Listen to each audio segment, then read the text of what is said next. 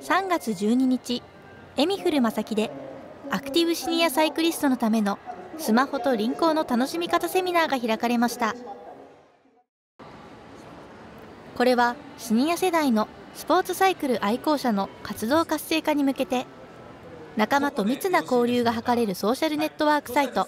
リンリン日和の紹介やその利用の仕方のほか自転車を解体して持ち運ぶ輪行の基本的知識や技術を学ぶ機会として開かれたものです。スマートフォンや SNS の使い方は愛媛 CATV と株式会社四国テクニカが輪行の実演とポイントの解説はエミフル正木内に店舗を持つワイズロード松山店のスタッフが講師を担当しました。参加者は講師の説明に真剣に耳を傾けていました。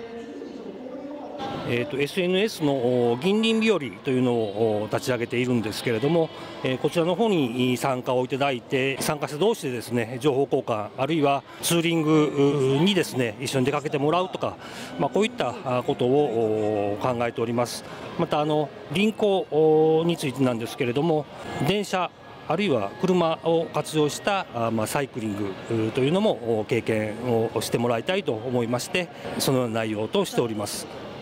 え、これからあの暖かい季節になってきますのでサイクリングにはもうぴったりの季節です、えー、SNS で、えー、作った仲間と一緒にサイクリングに出かけてほ、えー、しいと思いますより幅広くサイクリングを楽しむことができるようになるスマホと輪行これからの季節のお出かけがどんどん楽しくなりそうですね。